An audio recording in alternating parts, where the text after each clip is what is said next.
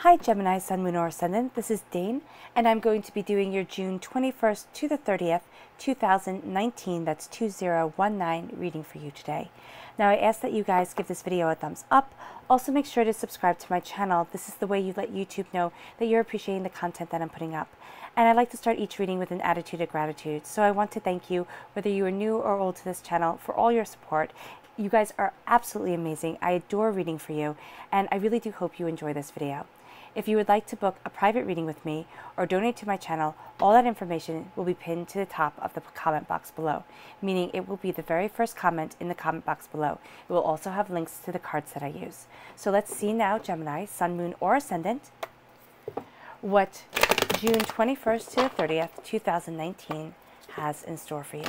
Gemini, June 21st to the 30th, 2019, Gemini. June 21st to the 30th, 2019, Gemini. June 21st to the 30th, 2019, Gemini. June 21st to the 30th, 2019, Gemini. June 21st to the 30th, 2019, Gemini. June 21st to the 30th, 2019, Gemini. June 21st to the 30th, 2019, Gemini. Show me clearly, show me clearly, show me clearly. June 21st to the 30th. Fantastic. That's where the cards fell, so that's where Spirit wants me to stop. At the center of everything, Gemini, here you are. I love this. You are coming through as the Queen of Swords, so you absolutely know your mind. This is you. You are represented by the swords in the minor arcana, by the lover's card in the major arcana. You cut through doubts and fears. You know what it is that you want. You need your independence. You also need to let your voice be heard during the last half of June. Not half, the last 10 days of June. You need to let your voice be heard. It's going to be imperative for you. Okay, that's really what I'm seeing here. It's also creative outlets having to do with words. If you are doing anything creative that has to do with words, okay, that has to do with your, well, not even with words, with self expression, now's the time to go for it. That is coming through loud and clear. There's a change of seasons, which makes sense. You know, we are going into summer. If you're in the northern hemisphere, if you're in the southern hemisphere, that would be winter. So here you are finding your balance. You're finding what it is that you want. You are embracing what it is that you desire. You are. Okay, let me just listen to spirit for a moment. You're finding your footing with something here, Gemini, and you're going to be way too emotional with it at times. Okay? So you need to find your footing and you need to, you know, know where it is that you stand. You have a connection with something this can be something that you've always been drawn to. Okay, this could also be a person because fox, red fox, mate for life, right here. And so that's what I'm seeing. There's something that you are connected to. It doesn't have to be a person, but when I see a kind of mate for life connection, that is very much telling me that there's something that you are you are drawn to that you are in love with and it doesn't have to be a person right? It can be that you are in love with what you do. You can be in love with a creative process. You could be yeah, it's just something here. And you're finding your balance, you're finding your prosperity. Because for a lot of you, that's been something very hard to find. It's kind of like that prosperity, that balance of what it is that you love and where it is that you want to be. Something from your past is going to come up, Gemini, and you have to be prepared for it. Okay? Because right here with the Six of Cups, this is negative words spoken over you. This is just, you know, something that was just, it was just too much. And it very much was a, a sense that it scarred you. And we all are scarred from our past. We all are. But here, this is saying that this has dictated the way that you see yourself, Gemini. And now it's time to heal from it. Right? Now it's time to sit there and say those words, that person, you know, those actions, they don't have that power over me anymore. And you are remembering who it is that you wanted to be, what it is that you wanted to be when you were young, when you were little. I believe very much that we as human beings, we know ourselves completely at the age of five, and we lose ourselves to what everybody else wants us to be at the age of five. For a lot of us, that's true. So here, it is finding yourself again. Even if when you were little, you wanted to be, you know, a scuba diver, you know, tap danced superhero, it doesn't matter how ridiculous it sounds. It was what brought you joy. So now you are following that joy. You are finding your bliss again you're embracing it. But the negative words that were spoken over you, the negativity that was spoken over you or, you know, that impacted your life, that's something you need to heal from. I love it. And you do. You have the Ace of Wands here. This is passionate energy. This is fire energy, right? This is God's source spirit, however you see the divine the universe, handing you a gift of passion, of creativity. That's why I say, you know, if there's something you want to go after, now's the time to do it. Now's the time to start. Okay? Putting into words, saying to yourself, this is what I want. You're going to find that it changes everything. Passion, prosperity, you know, new beginnings. There is just an energy to you for the last 10 days of June, in the last 10 days of, days of June. That is beautiful. Right?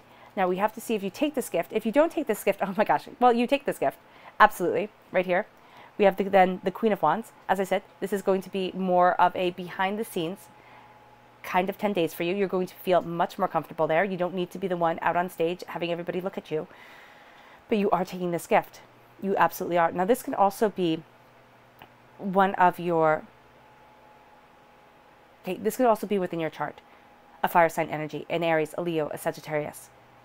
If it's in your chart, look at where it is in your chart. Okay, pay attention to that because here, that's going to be at your root. That's going to be very important to you. Also, if you have another air sign, a Libra, an Aquarius, another Gemini within your chart. Pay attention because that's going to be ruling your heart. All right? So just know that that's coming up here. But you take this gift of new beginnings, you take it in a very real, very powerful way. And you're starting to create, cultivate new dawns, new days are coming.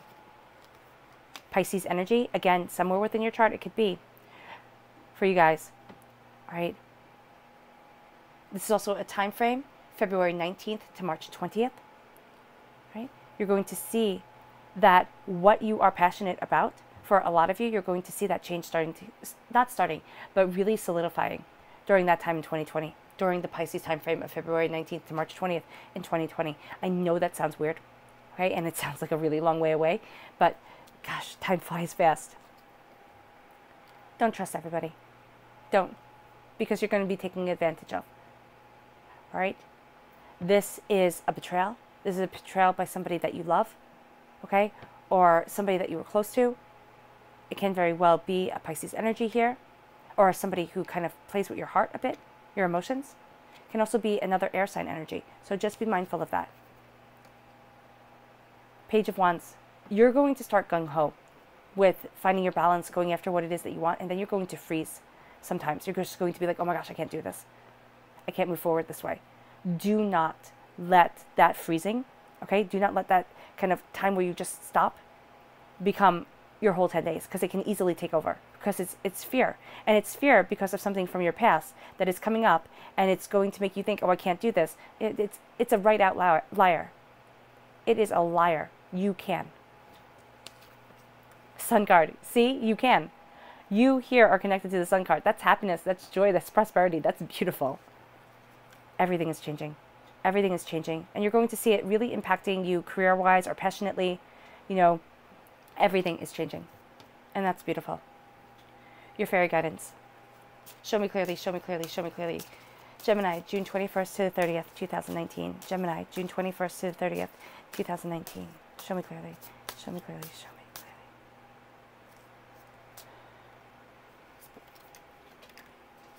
Simplicity. Oh, I love that an opportunity. Simplify your life. Simplify what's really important to you. Boil things down and seize the opportunities that are coming your way. Show me clearly, show me clearly, show me clearly. Gemini, June 21st to the 30th, 2019. Gemini, June 21st to the 30th, 2019. Show me clearly. Right here, strength, show me clearly. And enthusiasm. Oh, how pretty. Okay, so we're starting here with strength. And what this says is inner strength is the power within that pushes actions into all areas of life. Your strength is going to be coming out. Okay, we can also see that with the the passion that's around you, right? So your inner strength is going to be leading you forward. It's going to be guiding you to the place that you want to be. The color that's shining through here is orange. That's healing and cleansing your sacral chakra. That's where a lot of negativity is held from this life and past lives. So it's always a good chakra to make sure that you cleanse out, okay? Then we have enthusiasm. Life is always better when you wake up each day with a spirit of enthusiasm. So just keep that joy to you. Keep joy to your heart, Gemini. And the color that's shining through to me here is blue. That's healing and cleansing your throat chakra. Your words are going to be highly, highly, highly important for the last the last 10 days of June. Simplicity. Simplifying your life will bring you a sense of clarity and renewal. Simplify things. Really look at what's important to you, Gemini. For a lot of you, that's what you're going to be doing. You're going to be boiling things down. Okay, what's important to you? What isn't? How is it that you want to move forward? How don't you?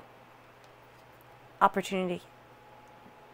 When your eyes are open wide, opportunities you never thought possible will manifest, right?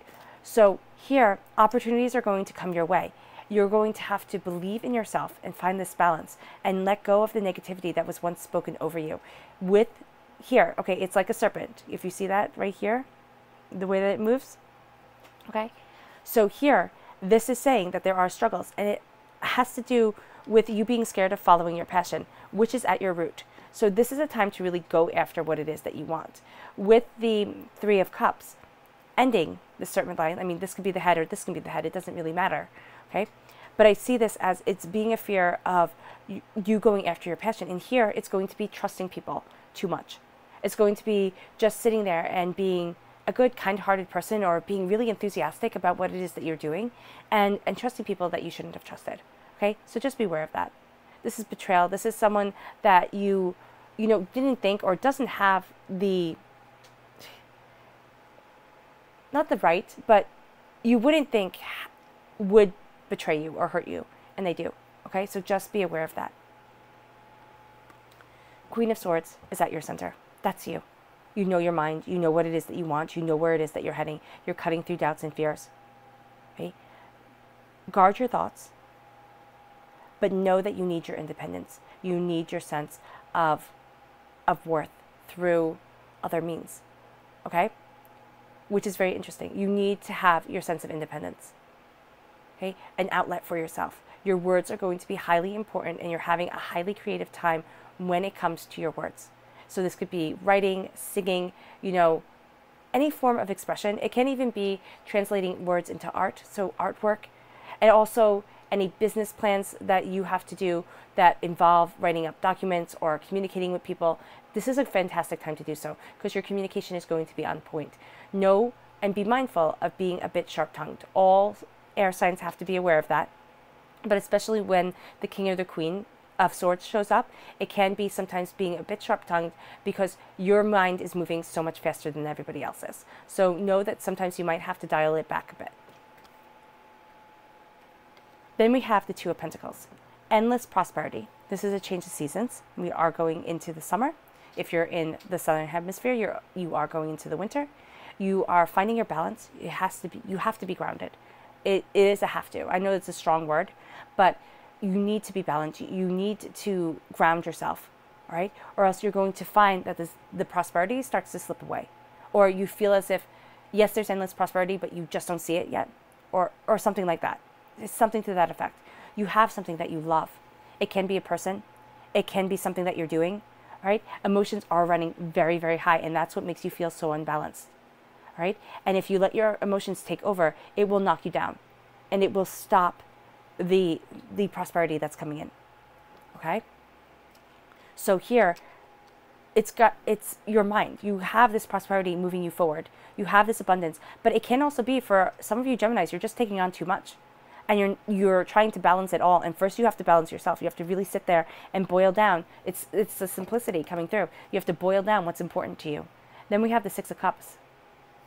The six of cups is saying something from your past is going to be leering its ugly head it can be words spoken over you when you were younger it can be you know some, something that happened it doesn't have to be words it can be something that happened that really kind of traumatized you or really traumatized you it can be from the time you were three. It doesn't have to be something that you even really remember, right? Working this out, tapping, you know, communicating with, communicating your thoughts and ideas with yourself, journaling. That can be very beneficial, or just talking to yourself. If you don't want to journal, you know, you don't have to. Letting things out, letting things go, and remembering what you wanted and who you wanted to be when you were small. and when the world had limitless opportunities to it. Okay? Share your wisdom with yourself. Have your inner child share that wisdom with you. That, that is definitely a goal for the last 10 days of June.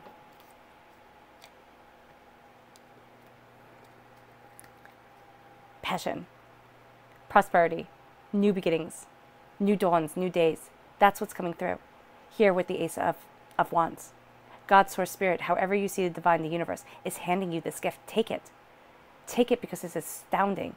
Take it because you're extraordinary, right? Take it. And you do. You're going to learn a lot. But here at your root is the Queen of Wands. But here in your clarifying is the Page of Wands. So you're going to take it, you're going to be a student of what it is that you want. At your roots, you are so sure. At your roots, okay, this is kind of the essence of who it is that you are. You are formed. You are formed to be that creative, expressive, you know, bountiful person that you are, that queen, okay? That director, that person who is fantastic behind the scenes, who makes everything run like clockwork, who makes beautiful things. That's you. You're going to doubt it though. And know that you have to find this balance between believing in yourself and wanting to run scare. Okay, kind of like a scared rabbit right here. All right, so that is what I'm seeing. And it's going to be very, very, very important because if you can channel this queen energy, this energy of kind of Hecate, all right, in Greek mythology, she's the goddess of magic. She's often confused with Circe, who turned men into pigs, all right, when they came to her island. But if you can, if you can channel Circe, Circe, not Circe, Hecate, who was the goddess of magic, okay, mysteries. There's almost nothing known about her. Mysteries and understanding understanding your inner mysteries, Gemini, you will find that you are absolutely on fire. New dawns, new days are coming your way. Embrace your courage. A connection with spirit grounds you. We have the moon card. You have to face fears. This is going to be a time of facing fears. The last 10 days of June is really you claiming your power and claiming what it is that you want. The full moon right here, that's lighting your way. It's lighting up darkness too. So any sort of demons that hide in the shadows are going to be brought to the light. So make sure that you can face them, okay? Because sometimes those demons that are in the darkness that we carry around with us can bring us to our knees. So know that for some of you, that's going to be here, right? But once this is faced, okay, as you move forward, encourage the goddess Athena, Athena, Artemis in Greek mythology, the goddess of the hunt, and the goddess Athena, the goddess of wisdom in Greek mythology, moves you forward Okay? Wisdom and courage moves you forward. You will find that that fear, that fear that you won't be able to make it, that fear that you're eating up your luck, no, you're not. You're not. Or that fear that you're letting your luck slip you pass you by, slip through your fingertips, you're not. You are moving forward in a profoundly beautiful way. Okay? Do not let fear stop you because here I'm seeing that it will try. All right? Three of Cups. Not my favorite card at all. I'd actually like to get rid of it. But this is saying do not trust everyone or trust everyone and brand your cattle. You know, that kind of thing. Make sure that you are putting yourself first and that you're not jeopardizing yourself for another person. Right?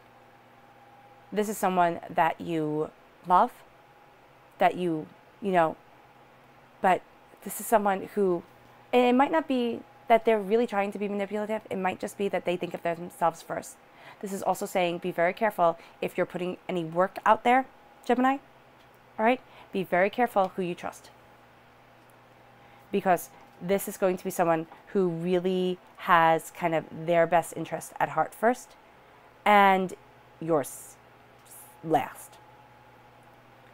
Page of Wands, Sun card, Wheel of Fortune, as you're clarifying. Page of Wands passion. This is also can be a young Aries, Aries, Leo, Sagittarius energy around you. Okay? But this is very much saying here, or a youthful, it doesn't have to be necessarily young. This is very much saying here that you are being a student of your passion, being a student of what it is that you want. You can also have an Aries, Leo, Sagittarius around you here with the Queen of Wands. This can be another person that helps you take these gifts of new beginnings. And it can just be that they show you what's really important to you and what isn't. It doesn't mean that they have to help you, like hold your hand. It can just be that through their actions, through them being, you see what it is that you truly want and the way that you truly want to move forward. You're going to be getting messages from spirit. It's going to be something tangible, something that you can feel, see, hear. Okay? Listen, listen, and know that at times you are going to want to freeze. Do not get mad at yourself when you do, but do not stay in fear. Don't. Then we have the Sun card, the happiest card in the whole entire deck. You are embracing your happiness, you're embracing your joy, you're embracing the way that you want to move forward. Nothing and no one can stop you. Know that this also brings up jealousy. Okay? So as you're embracing your happiness, as you're embracing what it is that you love, there can be people around you who start to get jealous. This is also beauty within solitude. So really, in the, from the 21st to the 30th, there is a sense of you needing to really connect with yourself. Beauty within solitude. Connect with your inner soul, with your inner passion to move you forward. Everything is changing. Everything is changing. At times you feel like it's been a wild ride, like you like you're on a roller coaster ride. But everything is changing and things are doing a 180. It has to do with your passion. It has to do with you taking this gift. It changes the field. It changes the game. Okay? Your subconscious message, I love it. The 9 of cups. This is Aphrodite blessing you. This is moving forward in beautiful love. This is it radiating outward. This is love guiding you. And this is healing within it, moving towards a conclusion that you absolutely adore. This is adoration. This is euphoria. All right? Subconsciously, you need to come from a place of love within yourself, within your soul, Gemini. And it'll make all the difference in the world. All right, Gemini. I hope this reading has resonated with you. Thank you so much if you've made it well if you've, that you've made it all the way to the end. Bravo. I've absolutely adored sharing this time with you. Thank you for giving this video a thumbs up. Thank you for subscribing to my channel and I'll be reading for you all really really soon. Bye guys.